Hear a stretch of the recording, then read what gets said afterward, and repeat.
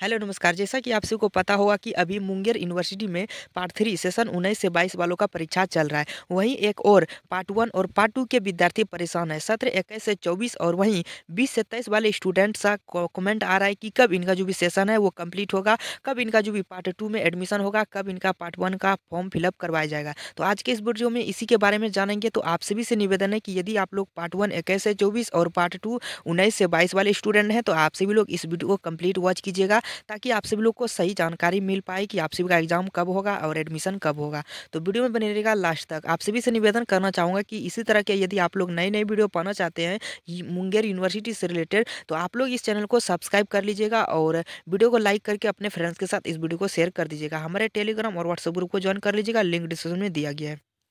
तो जैसा कि आप सभी लोग जानते हैं कि मुंगेर यूनिवर्सिटी में अभी पार्ट थ्री उन्नीस से बाईस का जो भी परीक्षा चल रहा है और यूनिवर्सिटी उन्नीस से बाईस वालों का जो भी एग्ज़ाम यहाँ पे कराने में जुटी हुई है और इनका जो भी सेशन लेट होने के कारण इनको यहाँ पे समय पर कंप्लीट किया जा रहा है। तो वहीं एक और जो भी इक्कीस से चौबीस वाले हैं उनका और यहाँ पे बीस से चौबीस वाले का यहाँ पे जो भी यहाँ पे बीस से तेईस वालों का सेशन है वो लेट चल रहा है। तो सभी लोग विद्यार्थी परेशान हो रहे हैं कि मेरा कब एडमिशन होगा और पार्ट टू में अभी तक क्योंकि एडमिशन नहीं हुआ है क्योंकि एडमिशन हो जाना चाहिए था, लेकिन अभी तक एडमिशन नहीं कराए हैं मुंगेर यूनिवर्सिटी ने पार्ट टू में। तो वहीं आप लोग को बता दूँ कि आप सभी का कब से एडमिशन होगा। तो सबसे पहले आप सभी को बता रहा था कि दिसंबर में इन दोनों का जो भी यूनिवर्सिटी के द्वारा ही अपडेट आई हुई थी कि पार्ट वन, जो भी पार्ट वन के स्टूडेंट है इक्कीस से चौबीस वाले और जो भी पार्ट टू के स्टूडेंट है बीस से तेईस वाले, इन दोनों का जो भी एक साथ यहाँ पे एग्जामिनेशन फॉर्म फिलअप करवाया जाएगा दिसंबर के महीने में। लेकिन इनका दिसंबर के महीने में नहीं हो पाया, जिसके कारण यहाँ पे पार्ट थ्री का एग्ज़ाम शुरू हो गया। है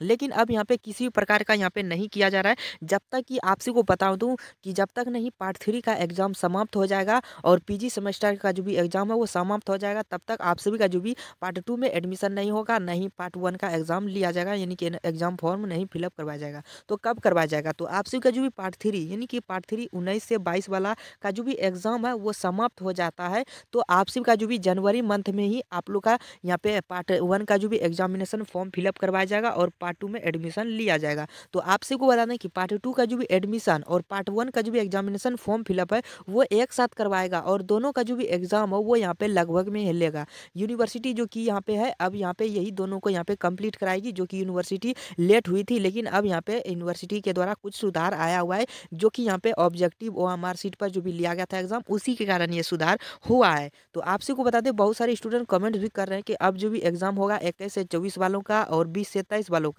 क्या इनमें जो भी ऑब्जेक्टिव प्रश्न रहेगा तो आप सभी को बता दें कि अब यहाँ पे घबराने की कोई बात नहीं है। आप सभी को, आप सभी का जो भी एग्ज़ाम है, वो सब्जेक्टिव बेस पे ही लिया जाएगा।